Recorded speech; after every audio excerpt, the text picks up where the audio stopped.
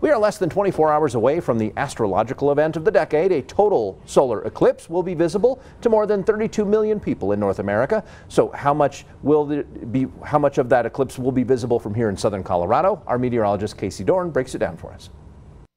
Monday's eclipse is going to be exciting if we could see it, but it sure seems to have a lot of numbers associated with it. What does it all mean? Let's break it down. Monday's eclipse is a total eclipse for much of the country. Check out our website and social media channels for a story I did earlier this week explaining that. But in short, for some folks, the sun will be completely covered.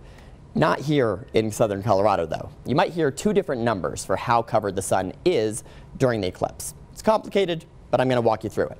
First, let's talk about magnitude. Magnitude is an astronomy term. The sun and moon are spheres which have a diameter like a circle. That's when you draw a line from one side of the circle to the other.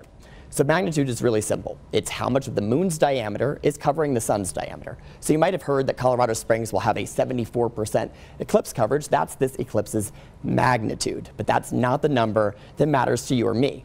The thing that we care about is surface obscuration. So let's break it down and call it area how much of the surface of the sun is being covered by the moon. A quarter, half, this is the number that you and I care about for this eclipse. Magnitude is more useful for astronomers. So now that we know what we're talking about, let's look at the maximum area covered by the eclipse in your city.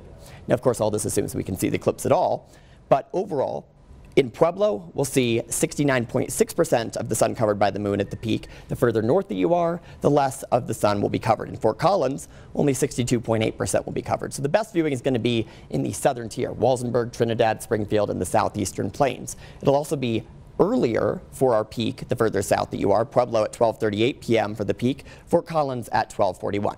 So let's talk about the current forecast. It's going to be a cold afternoon, relatively speaking, in southern Colorado with temperatures in the mid 40s to lower 50s and plenty of clouds around. These numbers here, these percentages, this is the percent of the sky that will be covered by clouds as of right now, according to latest model guidance at the peak of the eclipse. So overall, the southeastern plains are looking the best right now, but you're going to want to stay tuned to additional forecast updates through the weekend and into early next week as we track where the best place to go to see the eclipse is.